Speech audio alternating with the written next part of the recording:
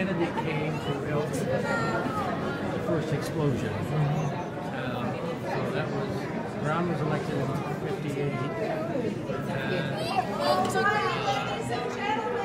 over regardless of what movies or video games you've seen or played, okay? It's not gonna happen.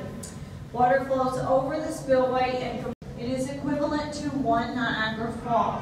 But remember, we have two, and water flowed for 63 consecutive days. So had they not been working properly or they not been, the dam not here altogether, it would have been a major, major catastrophe. And as I said, once the water goes over the spillway, it completely bypasses the Hoover Dam altogether